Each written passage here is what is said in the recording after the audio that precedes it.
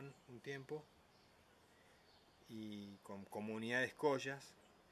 y habíamos empezado a trabajar en apicultura y en un momento también apareció